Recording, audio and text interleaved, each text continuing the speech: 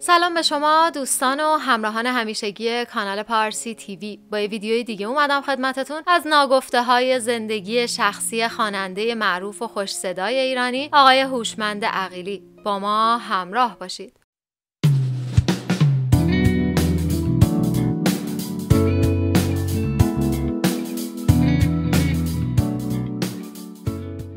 لطفا عضو کانال ما بشید و با زدن زنگوله زودتر از ویدیوهای جدیدمون با خبر بشید.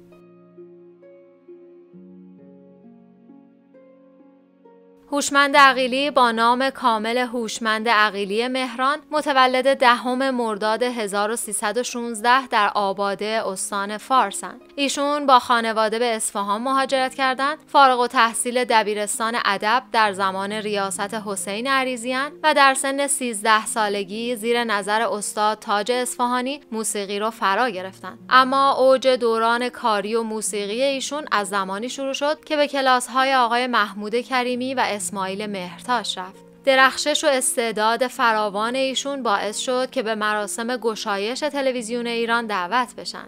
ایشون جزو خوانندگانی بودند که بارها و بارها به دربار دعوت می شدن و در مهمانی های خصوصی شاه و شهبانو هنرنمایی می کردن.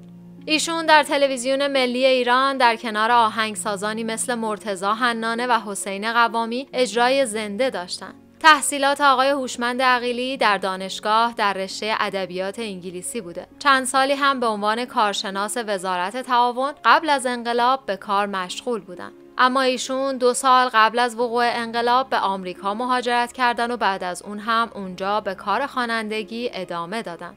در مصاحبه ای از ایشون پرسیدن شما متولد اصفهان هستید ولی لحجه ندارید. ایشون گفت بله من وقتی اومدم آمریکا لحجه‌مو عمل کردم. پدر و مادرم اهل آباده شیراز بودن ولی من در اصفهان متولد شدم و بزرگ شدم. ولی خب به خاطر اینکه پدر و مادرم اصفهانی نبودن و صحبت نمی‌کردن زیاد لحجه نداشتیم. در اصفهان مدرسه رفتم دانشگاه رفتم و در سنین جوونی بودم که به تهران اومدم. ازشون پرسیدن شما قبل از معروفیت در عرصه هنری توی تلویزیون اون زمان فعال بودی. ایشون گفت بله من به عنوان گوینده فعال بودم. وقتی که رفتم تهران توی تلویزیون ملی یه آهنگ ساخته می‌شد بعد چند نفر رو کاندید می‌کردن و می‌گفتن شماها بیاین بخونیم ببینیم کدومتون بهتر می‌خونه. اولش خواننده رو انتخاب نمی‌کردن. بیشتر شعرها رو هم خانم شهین حنانه میسرود. اونجا توی تلویزیون شاگرد هم میپذیرفتن. من رفتم و قبول شدم و بهم گفتن صدات خوبه و توی کانال سه تلویزیون ملی گوینده اخبار بودم. دو تا یروب اخبار می‌گفتم. یروب اول که اخبار داخلی کشور بود از رادیو هم پخش می‌شد و یروب دوم اخبار خارجی بود. یه بار هم یکی از همکاران قایب بود و من جای اون هم اجرا کردم. همه تشویقم کردن و گفتن چقدر خوب بود و استرس نگرفتی و تونستی مدیریت کنی و به دادمون رسیدی خلاصه از اون به بعد کارهای بیشتری بهم به دادن. ازشون پرسیدن چطور شد وارد عرصه موسیقی شدین. ایشون گفت من از بچگی از وقتی که دبستان بودم همیشه می‌رفتم سر صف و اجرا می‌کردم. توی خانواده و جمعهای فامیلی هم همیشه تشویق می‌شدم که بخونم. همه فامیل به پدر و مادرم می‌گفتن پسرتون واقعا صداش خوبه واقعا صدا داره. بذاریدش که تعلیم ببینه و بهتر بشه و خواننده بزرگی بشه. اما پدرم همیشه مخالفت می‌کرد و می‌گفت نه خوندن شن نداره خوندن خوب نیست. تو همون هفتاد سال پیش این کار رو سخیف و زشت می‌دونستن.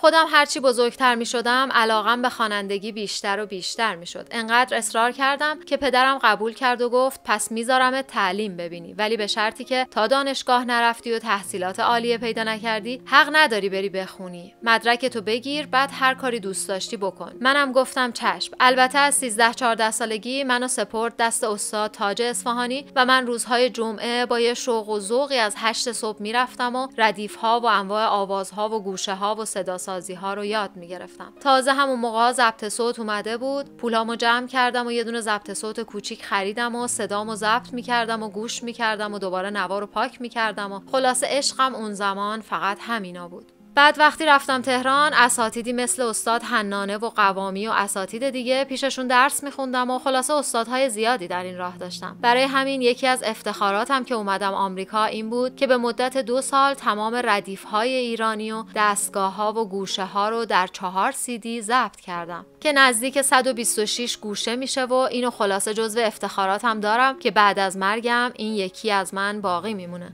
و همه کسایی که می‌خوان موسیقی کلاسیک یا سنتی بشنون و در کنارش هم آموزش ببینن و یاد بگیرن می‌تونن که از اینها استفاده کنن. ازشون پرسیدن شما با چهره های زیادی هم اجراهای دو صدایی داشتید مثل بانو هایده بانو دلکش. ایشون گفت بله بله به این کار خیلی علاقه داشتم. وقتی که نوجوان بودم می‌دیدم که ویگن با دلکش دو صدایی می‌خونن. از ته دلم دوست داشتم و تحت تاثیر قرار می‌گرفتم. حتی با اون آهنگ ها گریه می‌کردم. بعدها در دانشگاه با خانم ناهید دایی که بعد هم چند تا آهنگ خوند مثل غم و غصه توی قلبم خونه کرده. هم دانشگاهی بودیم و اون آهنگش هم خیلی سر صدا کرد. بعد با جهانبخش پازوکی هم کلاسی بودیم. من با ناهید دایی جواد دو صدایی اجرا کردیم. وقتی اومدم تهران با خانم دلکش آشنا شدم خوشبختانه. ایشون محفلی به نام کانون هنرمندان فانوس به راه انداخته بودن که من شبها اونجا به دیدن ایشون می‌رفتم. خانم دلکش با همسرشون یه سالن بزرگ و زیبا رو درست کرده بودن. صندلی ها و پشتی گذاشته بودن شمهای زیبایی روشن می‌کردن و محفل خیلی زیبا و شاعرانه ای بود. من حدود نه ماهی اونجا می‌رفتم و با خانم دلکش دو صدایی اجرا می‌کردیم. آهنگ هایی مثل فردا تو میایی نوروز یک شاخه گل و بسیاری از آهنگ ها رو با ایشون خوندیم. بعد از ایشون پرسیدن تو اون زمانی که شما ترانه شنداغ رو خوندین صحبت شده بود که شما این رو برای کاپیتان تیم بسکتبال ایران آقای ماهتابانی که در دریا غرق شده بود خونده بودید. ایشون گفت نه فقط یک همزمانی بود. ولی چون ایشون غرق شده بودن و این آهنگ ما هم منتشر شده بود این مسئله باعث شد که آهنگ ما هم خیلی طرفدار پیدا کنه و خیلی ها هم گفتن که ما اینو به خاطر ایشون خوندیم. از ایشون پرسیدن شما اهل سیاست هم بودین و هستین؟ ایشون گفت نمیشه که اهل سیاست نبود. بالاخره آدم دوتا گوش داره و همه چیز رو میشنوه دوتا چشم داره و جامعه رو می‌بینه. نمیشه بگم سیاسی نیستم. ولی زیاد سیاسی نیستم و خودم رو داخل ماجراها نمی‌کنم. از اوضاع خبر دارم ولی نظر نمیدم و خودم رو آدم سیاسی نمی‌دونم. به اون معنی که نظر بدم و مفسر باشم و توی همه مسائل صحبت کنم نیستم. ازشون پرسیدن هیچ وقت به برگشتن به ایران فکر کردید؟ ایشون گفت بله که فکر کردم. آرزوی هر شب و هر روز ما ایرانیاست که بتونیم به کشور خودمون ben Berger'deyim.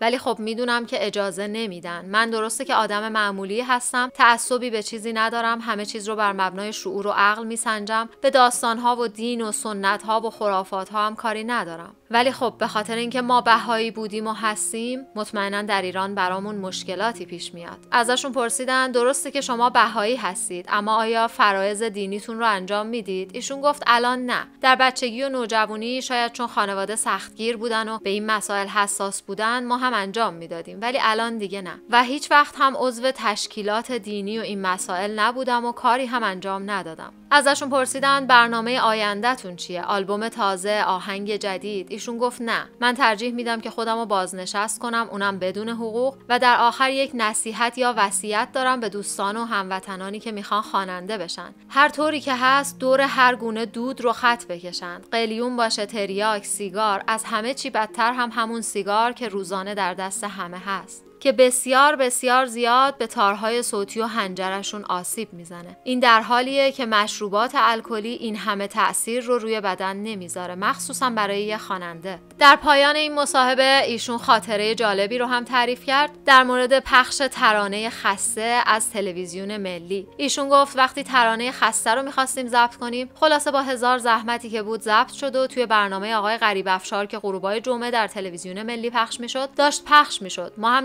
نشسته بودیم و داشتیم نگاه می‌کردیم که یهو وسط ترانه برنامه قطع شد و آرم دوتا شیر و خورشید پخش شد و تصویر یه خانومی پخش شد که خیلی عادی اومد و برنامه های بعدی و گفت و گفت از آن صبح چه ساعتیه و فردا چه تاریخی از ماهه و همه تعجب کرده بودیم. گفتیم چرا یهو برنامه رو قطع کردن؟ بعد از برنامه هم می‌تونستن این چیزها رو اعلام کنن. خلاصه بعدش کاملا برنامه قطع شد. بعدش آقای جهانبخش پازوکی فرداش به من گفت که از بالا و از مقامات منو خواستن و به خاطر اون آهنگ منو بازخواست کردن به خاطر شعرش گفته بودن ما شما رو می‌شناسیم و می‌دونیم هنرمندیم ولی می‌خوایم ببینیم مقصودتون از این شعر دقیقا چی بوده. اینکه خسته و می‌خوام از این قفس برم شما مملکت رو به حالت قفس می‌بینید؟ و خلاصه به مفهوم شعر گیر داده بودن. ایشون هم گفته بود نه بابا با مملکت چی کار داریم؟ یه زن و شوهری بودن زیر یه سقف بودن از هم خسته شده بودن خونه براشون مثل قفس شده بود. و خلاصه مجبورشون کرده بودن که شعر رو عوض کنن. شعرش وقتی عوض شد این شد که من ز پیش تو به یک بهانه می‌روم و کلمه قفس کلا حذف شد.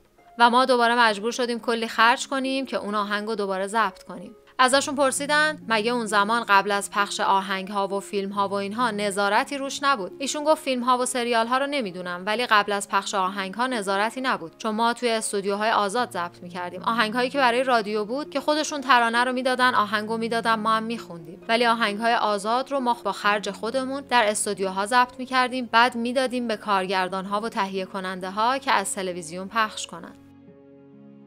مدتی پیش هم خبری در مورد فوت آقای هوشمند عقیلی در رسانه ها منتشر شده بود و باعث تأثیر طرفدارانشون شده بود که بعدا ساعتی نگذشته بود که خودشون این مسئله رو تکذیب کردن اما در این مدت گذشته ویدیوهای بسیار زیادی از ایشون منتشر شده که ایشون بسیار پیر و شکسته شدن و هوش و حواسشون رو هم متاسفانه از دست دادن. با آرزوی سلامتی برای این خواننده خوش صدا و درخشان موسیقی ایرانی